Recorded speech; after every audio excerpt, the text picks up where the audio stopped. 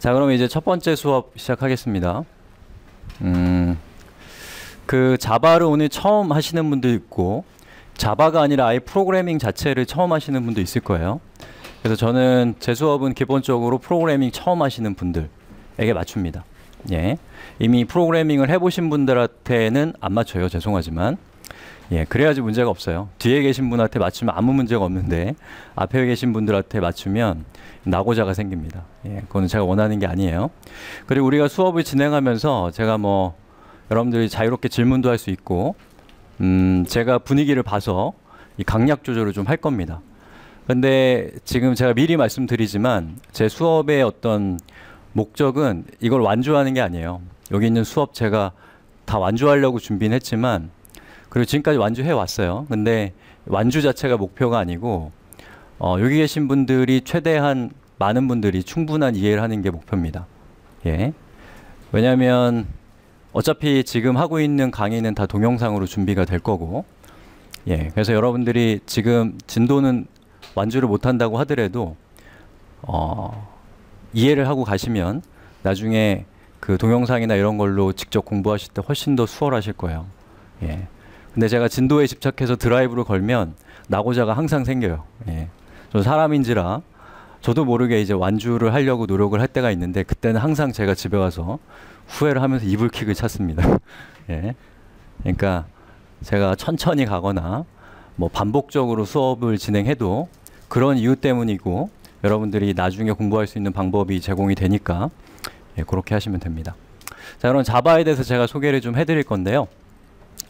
어, 자바는 1900년, 1990년도에 95년인가 그럴 거예요. 이 제임스 고슬링이라는 분과 함께 그 동료들이 써니라는 회사에서 만든 이 프로그래밍 언어입니다. 예, 역사가 좀 길다면 길고 짧다는 짧은 언어예요.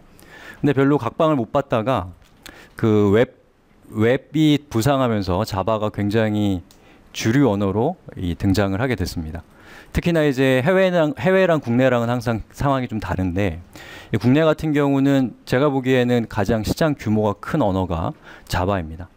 여기서 얘기한 시장 규모가 크다는 것은 뭐 가장 많은 기업 또는 가장 많은 서비스 또는 소프트웨어에서 사용하는 프로그래밍 언어가 자바라는 뜻이에요. 그래서 그런데 이제 자바는 좀 안 좋은 점이 뭐냐면 제가 생각하기에 프로그래밍 초심자한테는 그렇게 권하고 싶은 언어는 아니에요. 제가 준비한 그 자바 본 수업을 보시면 이거는 오리엔테이션이고요. 제가 소개를 어떻게 했냐면 프로그래밍이 처음이시면 자바 말고 다른 언어를 하시라고 권장을 드리는 편입니다. 뭐 자바스크립트라든지 파이썬이나 루비나 PHP나 이런 뭔가 좀 캐주얼하게 만들어진 언어들이 있어요. 진짜 캐주얼한 언어가 있는데 스크래치 이런 것들이 있습니다. 예. 아이들을 위한 프로그래밍 언어가 있어요. 그래서 혹시나 여기 공부하시다가 자바가 좀 어렵다. 그 여러분 탓이 아니에요. 원래 어려워요. 언어 자체가. 그래서 그런 경우라면 어 제가 방금 말씀드렸던 파이썬, 뭐 PHP, 자바스크립트 이런 언어로 경로를 좀 수정하셔서 어 그걸 통해서 프로그래밍을 익히시는 것도 좋은 방법이고요. 또는 스크래치라고 하는 그 초등학생들을 프로그래밍을 알려주기 위해서 고안된 언어가 있습니다. 예, 그거를 통해서 여러분들이 프로그래밍이 무엇인가에 대해서 좀 구체적인 어떤 체험 이런 것들을 하시고 자바에 도전하시는 것도 좋습니다. 예, 길은 하나가 아니에요. 여러 가지 길이 있고 이게 안 되면 저쪽으로 돌아가고 안 되면 돌아가고 돌아가고 계속해서 자기한테 맞는 문을 찾아야죠. 예, 그 문을 찾아드릴 수는 없는 거고 어떤 문이 있는지만 제가 말씀드릴 수 있는 거죠.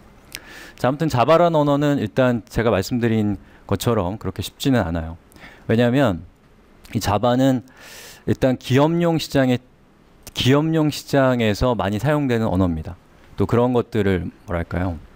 이 겨냥했다고 해야 되나요? 그래서 기업이라고 하는 곳에서 사용하는 소프트웨어의 특징은 뭔가 심각한 일들을 한다는 거예요. 예, 심각한 일이라고 하면 뭐 금융 시스템이라든지 아니면 뭐 뭐 그 교통과 관련된 그런 시스템이라든지 그런 것들이 이제 심각한 시스템이죠. 심각하다는 건 두 가지예요. 하나는 규모가 크고 또 하나는 그게 잘못되면 굉장히 사회적 파장이 큰 예, 그런 시스템들을 구축하는데 아무래도 특화되어 있, 있는 언어고 또 그런 정서가 담겨 있는 언어이기 때문에 엄격해요.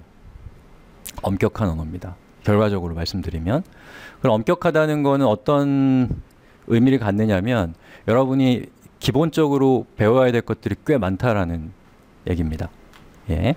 근데 반대로 제가 아까 말씀드렸던 언어들 있죠? 좀 쉽게 배울 수 있다고 했던 언어들.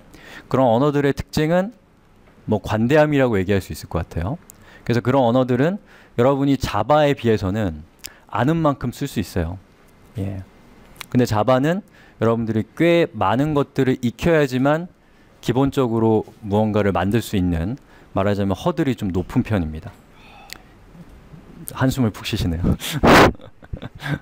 자, 그 허들 중에 하나가 이제 우리가 내일 배우게 될 객체 지향이라는 거예요. 예. 그래서 이 객체 지향 프로그래밍이라고 하는 거는 이 근대적인 프로그래밍 언어들은 대부분 채택하고 있는 프로그래밍 방법입니다. 예. 그래서 여러분이 프로그래밍을 배울 때 결국엔 객체 지향을 언젠가는 하셔야 돼요. 예. 그런데 상당히 많은 언어들이 객체 지향을 optional하게 지원합니다. 다시 말해서 여러분이 객체 지향 스타일로 프로그래밍을 할 수도 있고 하지 않을 수도 있어요. 예를 들어서 PHP 또는 뭐 파이썬 이런 언어들이 객체 지향이라는 걸 제공하지만 대부분의 개발자들은 거의 객체 지향적으로 쓰진 않습니다. 물론 그 사람이 어떤 일을 하냐에 따라 다릅니다. 예. 근데 자바 같은 경우는 음, 객체 지향을 거의 강제한다고 볼 수 있어요. 예. 그래서 여러분들이 객체 지향적인 프로그래밍을 꼭 한다고는 할 수 없어도 다른 사람이 만든 무언가를 가져다 쓰거나 또는 자바라는 언어를 이용해서 뭔가를 만들 때 여러분이 객체 지향에 대한 기본적인 이해가 없으면 결국에는 계속해서 뭔가에 걸리는 느낌이 들 수밖에 없습니다. 예. 바로 그런 점들 때문에 자바가 다른 언어에 비해서 배우기가 좀 어렵고 좀 까다롭다는 뜻이에요. 예. 아시겠죠? 예. 뭐 그런 특성이 있습니다. 그리고 이 자바라는 언어에 대해서 여러 가지 얘기할 수 있는 특징들이 있어요. 특징들이 있긴 한데 지금 프로그래밍 처음 시작하시는 분들도 계시고 자바를 처음 보시는 분도 있는데 제가 그런 특징 얘기하는 건 별로 의미가 없습니다. 그래서 그런 특징이나 이런 것들은 제가 이제 수업 진행하면서 코드를 보면서 또 여러분들이랑 뭐 이런저런 뭐 얘기를 나누면서 제가 자연스럽게 전달해 드릴 수 있도록 할게요. 자, 그럼 이제 수업 시작할 건데 자, 요건 이제 끝났습니다. 자, 저한테 뭐 질문 있, 있는 분 있으세요? 아무거나 괜찮습니다. 예, 첫 번째 질문하시는 분이 정말 중요한 분이세요. 예, 이 수업의 어떤 분위기를 다르게 하는 분이죠. 예. 선생님 PHP, PHP인가요? 그거 PHP 강의도 해주시는 거죠? 어, 온라인으로 강의가 있어요. PHP. 는 오프라인으로. 오프라인도 종종 하죠. 어, 예. 해주시고요. 파이썬인가요? 그것 좀 예. 해주세요. 파이썬은 제가 파이썬 개발자가 아니라서 당분 당분간은 제가 좀 못하겠지만 어, 조만간에 준비하도록 하겠습니다. 됐죠? 네. 예. 자, 또 뭐 질문 있으신가? 이런 이렇게 질문하시면 됩니다. 예.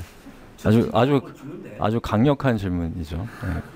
예. 제가 내일 드릴게요. 네. 책을 책을 가져왔어야 되는데 아. 제가 네. 책을 안 갖고 왔습니다. 아, 기대되네요. 예. 자, 또 질문 있나요? 아무거나 괜찮아요. 저에 대한 사적인 것만 아니면 뭐 프로그래밍을 하려면 수학을 잘해야 되나요라든지 이 프로그램 예. 할때 시간적으로 몇 시에 해야 제일 머리에 쑥쑥?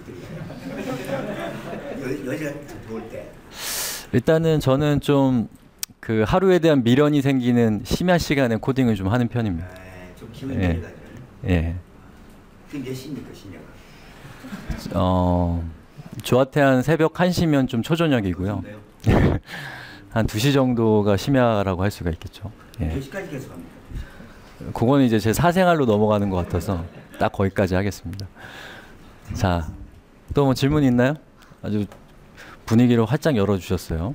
독, 독특한 분위기를. 자. 예, 저 어르신은 제가 저번 수업 때도 같이 수업을 하셨던 분이라서. 예. 자, 또 궁금하신 거 없으세요? 제가 되게 편한 사람이에요. 여러분들 아무거나 질문하시고 제가 그 뭐죠? 답변해 드릴 수 없거나 저는 제가 난처하면 말씀드립니다. 그러니까 걱정하지 마세요. 그거는 답변하는 사람이 결정할 문제입니다. 예.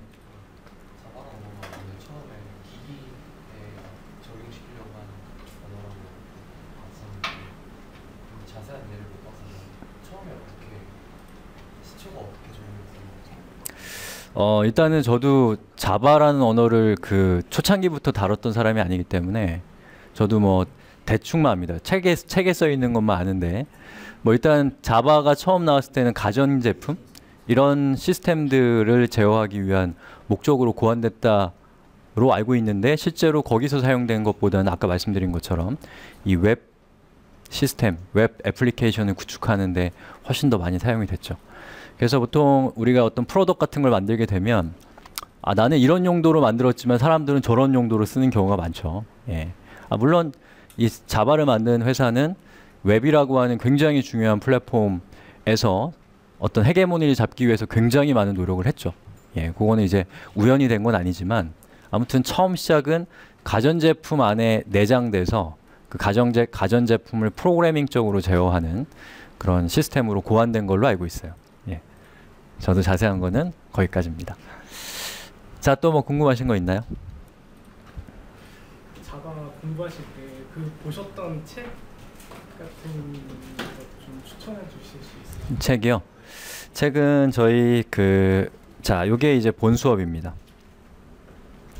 여기에 저희 생활 코딩이라는 이 사이트에 언어 섹션에 보면 자바라는 게 있어요. 자, 요게 지금 보고 계신 이거고요. 여기 있는 이 수업은 음, 동영상으로 치면 한 150개 정도 돼요. 그래서 한 30시간, 40시간 정도 되는 강의고요. 여기에 언어 소개인가 거기 쪽에 보시면 제가 공부할 때 봤었던 책들이 나와 있습니다.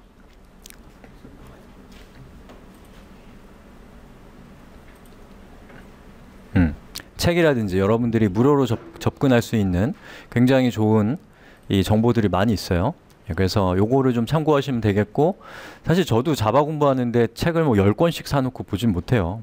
그래서 제가 우연히 만났던 책들을 소개한 거고 그리고 그 책은 어떤 특징이 있었다 이런 것들을 제가 간략하게 쓴 것뿐입니다. 예. 어떤 책이건 여, 열심히 하시면 돼요. 예. 자, 또 궁금하신 거 있나요? 선생님 또딴 이야기인데요. 예. 루비가 그 일본 사람이 와가지고 루비를 공유하대요. 예. 일본 애들이 만든 거. 일본 개발자가 만들었죠. 예. 근데 그거에 대해서 시장성 어느 정도 있나요? 한국에서는? 한국에서는 일단은 카카오 쪽에서 루비를 쓰죠. 그렇죠. 예. 근데 아주 많은 사례가 있지는 않습니다. 예, 국내에서는 이건 뭐 한국 시, 한국뿐만 아니라 기술이라는 것 자체가 갖고 있는 특성이긴 한데 약간의 쏠림 현상들이 생길 수밖에 없어요. 근데 한국은 아무래도 자바가 절대적으로 강, 큰 파일을 가지고 있고요. 나머지 파일들을 이제 다, 다른 언어들이 나눠 갖고 있는 형국이에요. 특히나 이제. 그럼요. 예. 그렇기도 하고 또 이런 특징도 있습니다. 이 프로그래밍이라는 게 굉장히 복잡한 제품을 만드는 하- 행위이기 때문에 뭐랄까요? 그 제품을 잘 만들기 위한 여러 가지 방법론이랄까? 또는 연구랄까? 이런 것들이 굉장히 많이 있습니다. 근데 그런 연구나 이런 것들이 굉장히 자바라는 언어를 기반으로 해서 많이 이루어져 있어요. 그 얘기는 뭐냐면 여러분들이 영어를 공부한 이유가 뭐예요? 그 영어가 품고 있는 문화에 접속하기 위해서잖아요. 그렇죠? 방금 말씀드린 그 소프트웨어를 잘 만들기 위한 방법들, 그런 고민들 이런 것들에 여러분들이 접속하기 위해서는 예, 자바라는 언어를 어, 자바 엔지니어가 아니래도 할 필요가 있습니다. 예. 되게 좋은 특징들이 많이 있는 언어예요. 근데 조금 헤비하죠. 예. 그래서 뭐 이- 이를테면 뭐 집에다가 조그만 책장을 만든다. 라면 사실 못이랑 망치만 있으면 돼요. 그런 거 만드는데 자바를 쓰는 건 제가 보기에는 그건 좋은 선택이 아닙니다. 예, 그런 걸 만들 때는 그런 걸 하기에 좋은 언어들이 있어요. 예, 제가 아까 말씀드렸던 관대한 언어들. 예, 그런데 뭔가 여러분이 63빌딩은 좀 너무 오래된 얘기네요. 자, 뭐 아주 큰 뭐 롯데 무슨 지금 롯데 월- 롯데월드 타워인가요? 그런 거라든지 버즈 두바이 같은 그런 아주 거대하고 심각한 시스템을 구축한다고 하면 사실 걔도 못이란 망치가 필요하거든요. 근데 그것만으로 걔를 질 수는 없어요. 왜냐하면 인간은 여러 가지 한계들을 가지고 있기 때문에 어떤 실수도 할 수 있고 그런 것들을 이 견제하기 위한 다양한 장치들이 필요하잖아요. 네, 그런 것들이 자바에는 풍부하게 들어가 있어서 여러분들이 공부하는 입장에서는 배워야 될 게 많은 거죠. 자 여기까지 해서 자바에 대한 제가 기본적인 얘기는 드렸고요. 지금 제가 말씀드린 거는 뭐 정설이라기보다는 제가 느끼는 자바에 대한 얘기를 한 겁니다. 그래서 좀 다른 의견들도 있을 수 있어요. 자, 그럼 이제 시작해 볼까요?